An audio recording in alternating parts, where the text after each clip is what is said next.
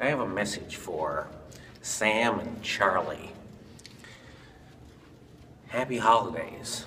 And do me one favor. Always listen to your mother. And keep smiling.